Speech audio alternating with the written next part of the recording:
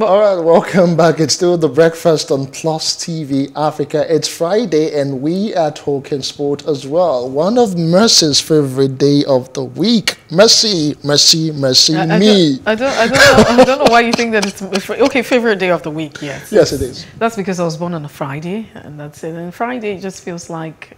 Uh, I don't know the feeling, but we, we just need to move on to the next topic this morning. Yes, we do. We'll just be having an update. What's going on with the UEFA Champions League? I mean, who stands a chance of winning uh, the trophy or taking the trophy? We do have a sports journalist who joins the conversation this morning.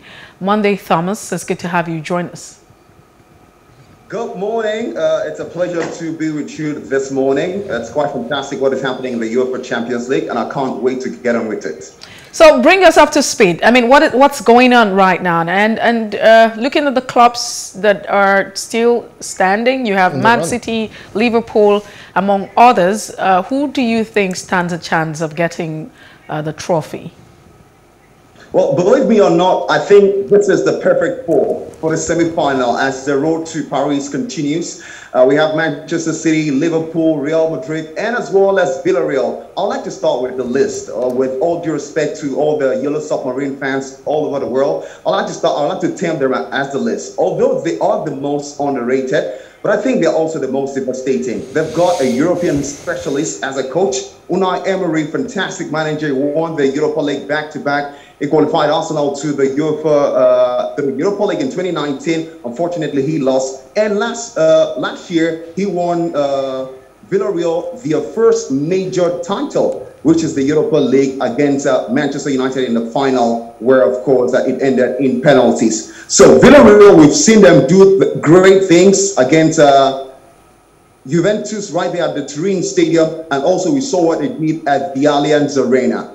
They might be the most underrated, but I would advise team to try to overrate them a little bit because uh, when they have a specialist as uh, like Unai Emery, a lot is meant to happen. Let's move to Liverpool, which is uh, an incredible team so far this season. We saw that 3-3 draw against uh, Benfica, and uh, I'm very sure Jurgen Klopp came out to apologize for starting uh, for having set changes from the team that we saw in that mega title shipper in the English Premier League. They've got informed players, Mohamed Salah in Liverpool. Everyone is scoring. Luis Diaz, Sadio Mane, and as well as Mohamed Salah. They are on hand to win their seventh UEFA Champions League title. They've already won six, and they are perfectly poised to take on uh, Villarreal. For Real Madrid, of course, it goes without saying the most successful side. They've got Karim Benzema and Vinicius Jr., who is doing the business for them. They've got Carlo Ancelotti as well. So I think it's, it's going to be an incredible uh, football on the 26th and on the 27th of May when we talk about the semi-finals. But let's talk about Manchester City.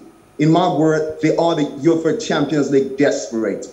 Pep Guardiola has spent over 1.5 billion, forgive me, over 1.5 billion pounds to hand Manchester City the UEFA Champions League. We saw that embarrassing uh, performance some uh, months ago in Porto, where he lost to Chelsea in the 2021 UEFA Champions League final. So he's desperate. He wants to win it at all cost. But of course, I'm going for Liverpool because to win a title, to win games, you need to have a strong defense and you need to have a strong attack as well. Liverpool have an unbreachable defense and a very devastating forward. So, like I said, Liverpool, everyone is scoring. Mo Salah can score. Sadio Mane can score. Luis Diaz can score. Diogo Jota can score. Bobby Firmino can score. In the back, they've got Virgil. And you know for certain that he's one of the best. So I, am tipping Liverpool to win their, their seventh UEFA Champions League title, and they're going to do this. So you don't you don't you don't think that Manchester City uh, can match the energy of Liverpool uh, to win the UEFA Champions Trophy? They can't match it.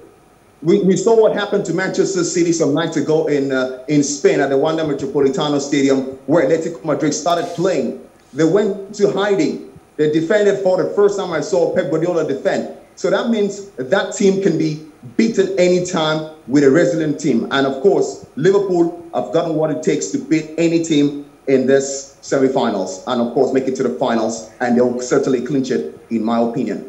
Thank you so All much. Right. Uh, Monday Thomas for being part of the show this morning. We do appreciate your thoughts and uh, we look forward to having more of you uh, share uh, great ideas and thoughts as regards uh, football and sporting world.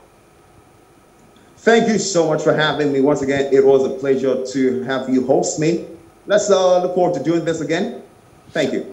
All right, thank you so much, uh, Monday Thomas. It's as though there is a Liverpool Manchester City final, which will be inevitable. All right, we'll see how uh, all of that uh, plays out. But that's the size of the show for today, this uh, Good Friday morning. We trust you would have yourself a wonderful holiday. Friday, Monday uh, have been declared public holidays. My name is Justin Akadonye. And I am Mercy Ebokpo. But if you missed out on any part of the conversation, it's all right to follow us on Facebook Twitter and Instagram and do subscribe to our YouTube channel, What Plus TV Africa and Plus TV Africa Lifestyle.